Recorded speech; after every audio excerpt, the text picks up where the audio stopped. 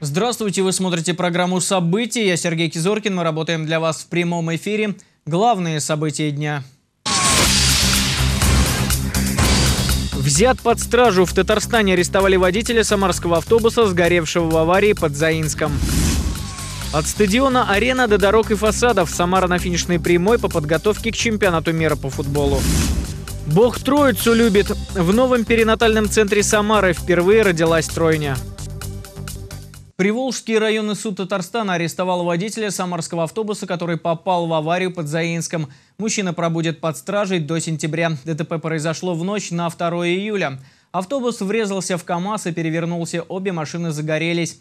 Неоплан выгорел за несколько минут. Погибли 14 человек. Среди них семья из Самары, мама с двумя детьми, а также студентка медуниверситета и трое тольяттинцев – Водителю автобуса вменяют нарушение правил дорожного движения, повлекшее смерть граждан. Заведено уголовное дело по статье оказания услуг, не отвечающих требованиям безопасности». Общественные советы микрорайонов могут помочь навести порядок в сфере ЖКХ, пополнить местные бюджеты за счет усиления контроля за алкогольным рынком. Об этом говорили на координационном совещании по обеспечению правопорядка, которое провел губернатор Николай Меркушкин. Сегодня общественности даны широкие полномочия при поддержке власти и силовиков. Механизмы самоуправления должны заработать на полную мощность, что даст возможность решать многие городские проблемы.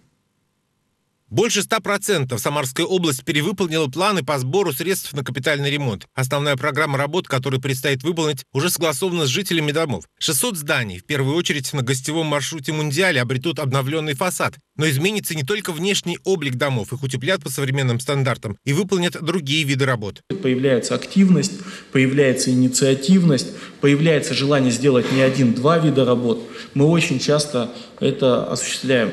И а, особо как раз на а, маршрутах чемпионата это очень сильно проявилось. Люди сказали, что помимо фасада у нас есть большая проблема, мы понимаем чемпионат, но у нас инженерия, крыши и так далее. На координационном совещании губернатор обозначил задачу, чтобы сферу ЖКХ активнее контролировали общественные советы. Это касается и капитального ремонта, и управляющих компаний. К ним больше всего нареканий. В Самарской области удалось остановить недобросовестное долевое строительство. За последние годы список обманутых дольщиков только сокращается. Теперь необходимо при помощи общественности усилить контроль на рынке коммунальных услуг. То же самое касается и сбора налогов и акцизов на спиртное. Районы могут получить дополнительные деньги на решение проблем за счет ликвидации подпольной торговли алкоголем. Сейчас лицензию на магазина даем мы. Мы. Кому мы дали? Насколько он дисциплинирован? Насколько он выполняет закон? Положение, порядок? На то и получим. Это город Самара может 2 миллиарда дополнительно иметь, если хорошо сработает, да? Получить из них там 160, э, миллиард 600 обратно микрорайоны для того, чтобы они порешали свои проблемы по благоустройству. Миллиард шестьсот миллионов рублей – хорошая прибавка к муниципальным бюджетам. Чтобы их собрать, нужно навести порядок на алкогольном рынке, в чем важную роль должны сыграть общественные советы микрорайонов. Олег Зверев, Василий Колдашов. События. Ускорить темпы строительства и не жаловаться на погоду. Подрядчикам, которые работают на объектах чемпионата мира по футболу, поставлены жесткие сроки. Все должно строиться по графику. Подготовку к главному мировому спортивному событию следующего года в Самаре обсудили на заседании регионального оргкомитета «Россия-2018». Репортаж Марины Кравцовой. Готовность стадиона «Самара-Арена» больше 71%. Подрядчики уже приступили к покраске металлоконструкций для защиты их от коррозии. Завершается монтаж консолей купола. Осталось установить 7 блоков из 96. Уже в этом месяце могут приступить к устройству футбольного поля. Ближайшие 10 дней, может быть, там максимум 2 недели, что вся, весь конструктив стадиона будет готов. Это принципиальнейшая вещь. И можно уже всю внутреннюю часть освобождать и готовить футбольное поле. На заседании регионального оргкомитета «Россия-2018» губернатор Николай Меркушкин отметил, что критические точки по важнейшим объектам уже пройдены, но необходимо ускорить темпы строительства. В частности, это касается дорог. Все работы подрядной организации должны выполнять четко по графику и не ссылаться на превратности погоды. В случае дождя выходить на работу в ночное время, привлекать дополнительные бригады рабочих. Я в субботу во второй половине дня до конца дня проезжал стройки, дороги, стройки, город. А, проезжал в воскресенье, если брать тоже Московское шоссе, там субботу, то время, которое я проезжал дважды, там были бешеные пробки, просто бешеные пробки. И там очень много вещей, которые можно было а, для удобства а, людям, которые приходится ездить там, создать Особое внимание сейчас благоустройству территории рядом со стадионом. Активизировать работу подрядчики должны и при реконструкции парков и скверов города. Это реально. Организовать и поставить работу так, чтобы выдавать результат там, в 3, в 5, в 6 раз больше. Взяли там 3, 4, если надо 5, 7 на суд подряд организации, на конвейер, и через две недели объект готов. Повышенное внимание и к ремонту фасадов зданий в историческом центре и на гостевых маршрутах. По графику идет создание тренировочных площадок, строительство гостиничного комплекса, реализуются программы по улучшению медицинской инфраструктуры, а также волонтерские проекты. Марина Кравцова, Максим Гусев. События.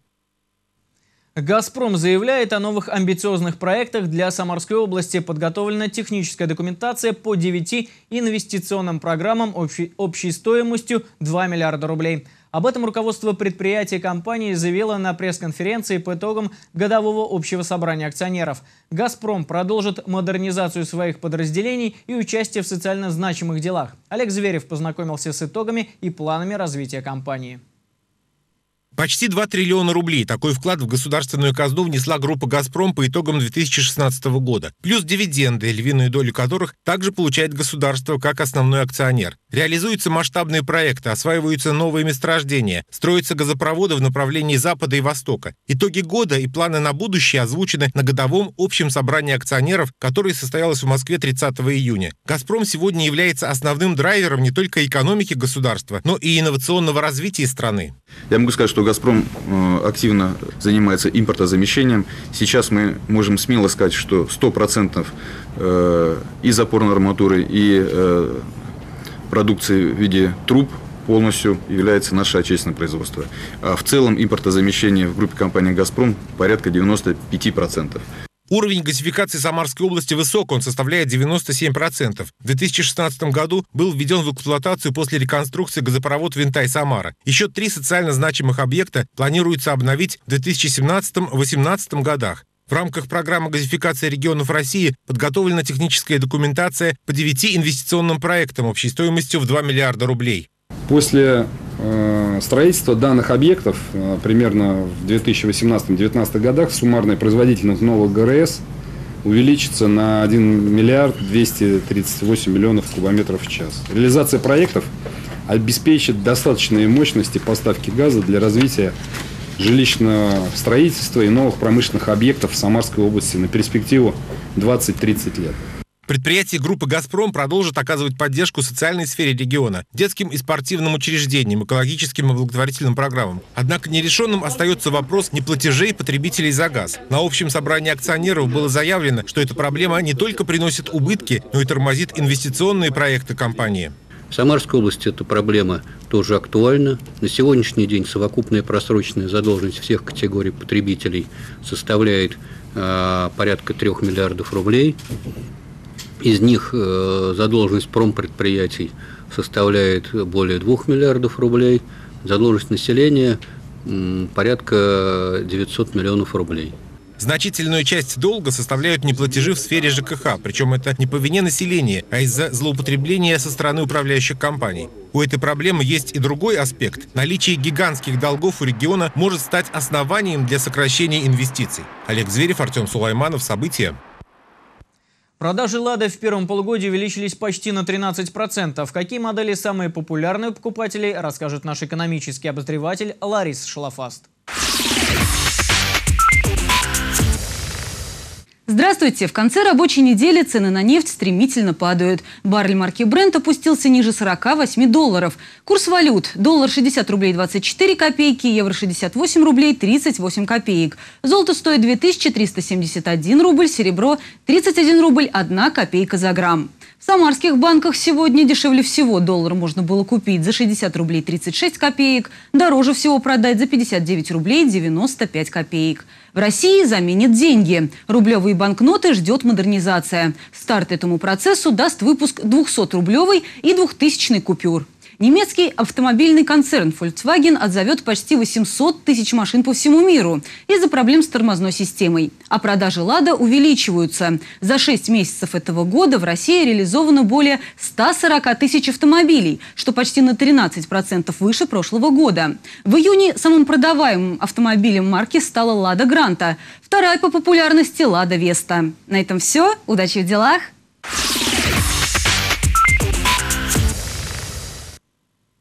За полгода работы перинатального центра больницы Середавина родилось почти 3000 детей, из них 57 двоен. Сегодня домой провожали маму, родившую тройню. Такие события случаются редко. Возможно, 2017 побьет этот рекорд.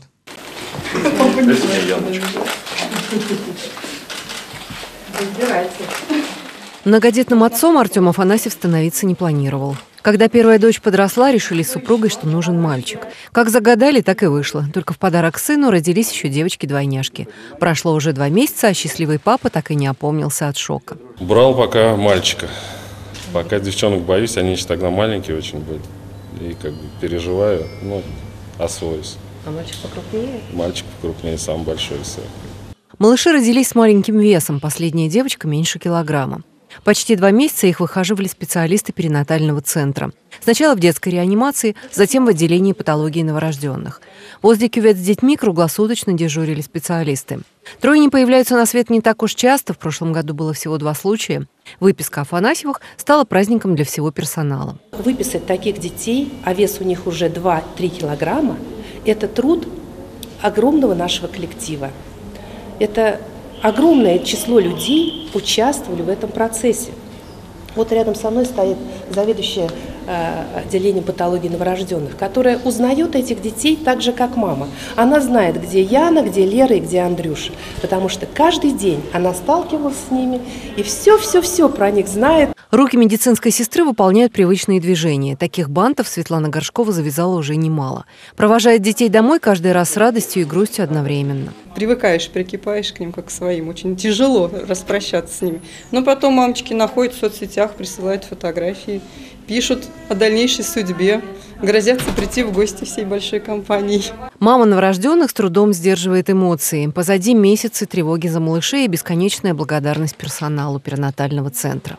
Я понимаю, что все хорошо, самое страшное позади. Теперь будем следить за детками, воспитывать, холить, лелеять. Пока медики прощались с семьей Афанасьевых, их коллеги принимали роды еще одной тройни. А за здоровьем Яны, Леры и Андрея врачи больницы Середавина будут пристально наблюдать еще в течение года. Инесса Панченко, Дмитрий Мешканцов. События. Завтра в России будут отмечать День семьи, любви и верности. В Самаре во многих дворах прошли праздники, посвященные этому чистому и светлому дню. На одном из таких, которые провели при поддержке общественного совета, побывал Андрей Горгуленко. А любовь не проходит нет. Пока бабушки поют песни, дети вовсю играют с клоуном, прыгают на батуте и бегают на веселых стартах. В 12 микрорайоне отмечают праздник в честь наступающего Дня семьи, любви и верности. Здесь считают, что дети – главное в семье, а потому и площадок для них сделали больше. Это не первый праздник двора, такие здесь устраивают регулярно. Ну, во-первых, у нас э, дети не все могут попасть в лагерь, это раз. Во-вторых, наши бабули, они тоже ну, не могут куда-то поехать далеко. Вот даже на ту же набережную. Поэтому мы стараемся здесь, здесь вот в зоне отдыха что-то сделать такое комфортное для них. Такие праздники стали постоянными благодаря поддержке общественного совета. За два года работы он показал свою эффективность. Жители стали ближе к тем, кто может решить возникшие у них проблемы. С вопросами они могут обратиться не только в строго отведенное время, а тогда, когда помощь и совет действительно необходимы. Люди не только пользуются общественными приемными, не только э, пользуются возможностью вот такого праздника, как сегодня, э, и сегодня будут подходить, и сегодня будем решать вопросы, но и также, поскольку организации, которыми, которой я работаю, находятся в нашем микрорайоне и районе, люди также могут в любой день прийти. За прошедший год при поддержке общественного совета в 12-м микрорайоне в своей любимой зоне отдыха провели почти 40 дворовых праздников. В этом году обещают не сбавлять обороты. Андрей Горгуленко, Максим Гусев. События. А те, кто пронес любовь через годы, чествовали в советском районе супружеские пары, чей стаж семейной жизни перевалил за 30 лет. В преддверии Дня семьи любви и верности для них устроили праздник. Репортаж Валерии Макаровой.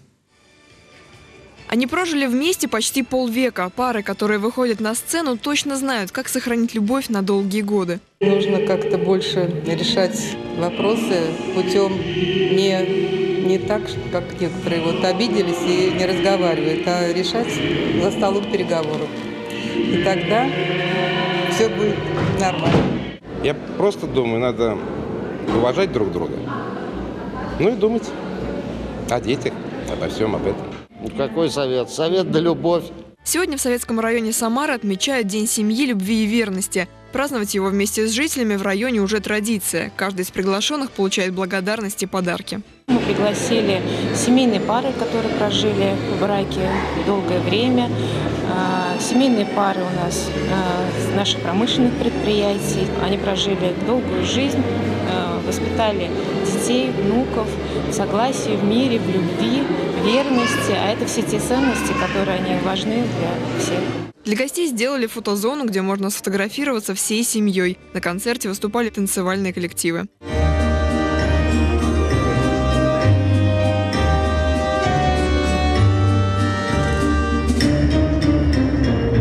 Валерия Макаров, Станислав Левин. События. Крылья Советов должны отдать все свои силы для возвращения в премьер-лигу. Такую задачу поставил губернатор перед командой. Николай Меркушкин уверен, крылья за один сезон вернутся в российскую футбольную премьер-лигу. Со временем Самара должна стать одной из футбольных столиц страны. Город и команда заслужили это, подчеркнул глава региона. Также губернатор добавил, что власти окажут клубу необходимую поддержку. Ведет работа по привлечению спонсоров. Уже в эту среду продлили соглашение с одной из крупных самарских компаний. В следующем году команду ждет знаменательное событие. Крылья Советов переедут на современный стадион «Самара-Арена». Главный тренер Андрей Тихонов заявил, все игроки и тренерский штаб с нетерпением ждут первого матча. Напомним, он состоится в эту субботу, 8 июля. Крылья Советов примут луч энергию из Владивостока. Продолжаем спортивную тему. Пока Уимблдон прощается с волжскими красавицами, самарские спортсмены собирают медали по всей Европе. Подробнее расскажет Андрей Горгуленко. Здравствуйте, с вами Андрей Горгуленко, вы смотрите «Самарские новости спорта». Уимблдон продолжится без самарских спортсменок. Самарские легкоатлеты уезжают из Подмосковья с медалями. Подмосковном Жуковском завершились 59-е соревнования по легкой атлетике «Мемориал Знаменских». Самарские спортсмены покидают турнир с медалями. На дистанции 400 метров с барьерами победительницей стала Валерия Храмова, пробежав дистанцию за 55,7 секунды. В беге на 100 метров с барьерами Анастасия Николаева финишировала первой со временем 13,24 секунды. В метании молота тольяттинка София Палкина завоевала серебро, отправив снаряд на 68 метров 74 сантиметра. А в тройном прыжке Александр Юрченко остановился в шаге от награды, заняв четвертое место. Бронзовый призер превзошел его результат на 7 сантиметров. Тольяттинка Дарья Касаткина во втором круге Уимблдона уступила эстонке Аннет Кантавейт со счетом 3-6-2-6. Поединок продолжался всего 55 минут. 20-летняя Касаткина, занимающая 30 место в рейтинге WTA, не реализовала единственный брейкпоинт, проиграла три гейма на своей подаче, исполнила один эйс и допустила 5 двойных ошибок. А ее оппонентка 7 раз подала на вылет и обошлась без двойных. Следующей соперницей Кантавейт станет датчанка Каролина Возняцки. Это все новости к этому часу. Больших побед вам! Удачи!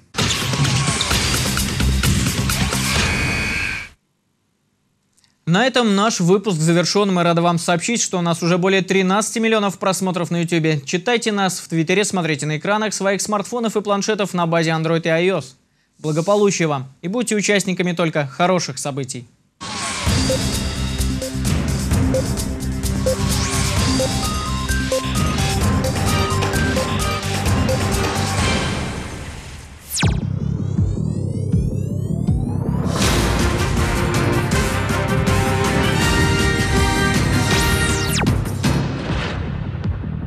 Реконструкция четвертой очереди набережной идет по графику. Завершился ремонт подпорной стенки. Объект приводит в порядок к чемпионату мира по футболу. Реконструкция ведется на участке от улицы Осипенко до Силикатного оврага. Протяженность чуть более километра. На стройке трудятся 150 рабочих и больше десятка спецмашин. Сейчас строятся лестничные спуски. Уже сделано полтора километра ступеней. Ведутся отделочные работы на скульптуре ладьи. Залито основание амфитеатра на 500 мест. Заканчивается строительство здания хозяйственного корпуса и фонтана. Завершен монтаж всех коммуникаций, водопровод и канализация. После окончания ремонта подпорной стенки началось устройство откосной части. На четвертой очереди набережной заменят асфальтовое покрытие, установят подъемники для людей с ограниченными возможностями, стационарный общественный туалет. Также здесь обновят освещение и установят систему видеонаблюдения. Работы планируют завершить в декабре 2017 года.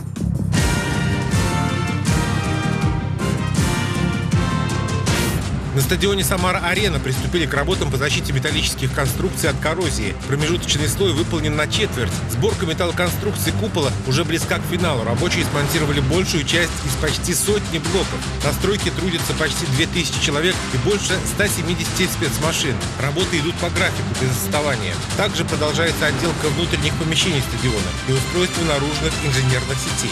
Начались подготовительные работы по благоустройству прилегающей территории. Сносятся старые помещения радиоцентра центра выравнивается площадка.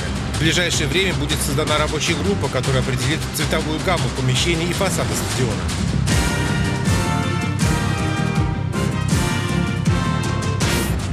Струковском парке срезали все асфальтовое покрытие. Изначально планировалось снять 8 сантиметров полотна, но в процессе объем работ вырос в два раза. Оказалось, что дорожка уложена в три слоя. За месяц рабочие вывезли больше трех тысяч тонн старого асфальта. Уборка мусора производится ночью, днем завозятся строительные материалы. За два месяца рабочие должны завершить все дорожные работы, положить тысячи квадратных метров плитки, нового асфальта и рулонного газона. В Струковском саду обустроят зоны для занятий спортом, приведут в порядок скейт-площадку. В парке восстановят дорожки, фонтаны, а также площадку для аттракционов. Зимой она будет использоваться под каток. Восстановят летний театр. Планируется сделать днем разборные стены, чтобы зимой в театре тоже можно было работать. Для отдыхающих установят скамейки, шезлонги, велопарковку и беседки. Работы в Струковском парке должны завершиться этой осенью.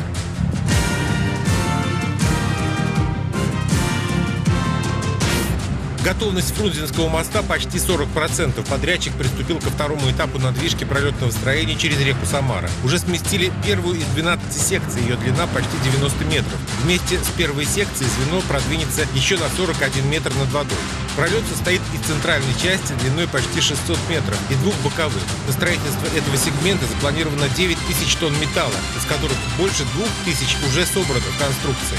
Вместе со сборкой пролетного элемента идет строительство в русле реки Самара. Завершены работы на четвертой и пятой опорах. Продолжается устройство оставшихся третьей и четвертой. Они располагаются в бухте Новая Гавань. Также обустраивается насыпь береговых опор моста озера Банное. Продолжается строительство съездов на развязках с выходом на улицу Шоссейную на левом берегу реки Самара.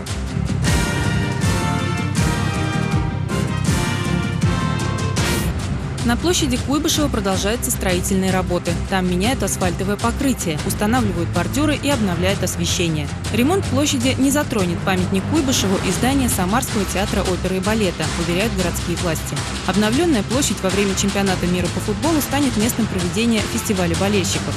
Кардинальных изменений не будет. Площадь Куйбышева – одна из главных достопримечательностей Самары, и она сохранит свой облик. По большей части перемены коснутся скверов.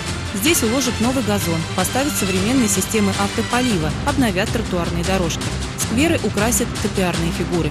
Принципиально поменяется техническое оснащение. Будут смонтированы новые линии коммуникаций для обеспечения вода- и электроснабжения. Рабочие проложат электрический кабель, который будет питать технику во время массовых мероприятий. Планируется, что грандиозное обновление площади закончится в октябре.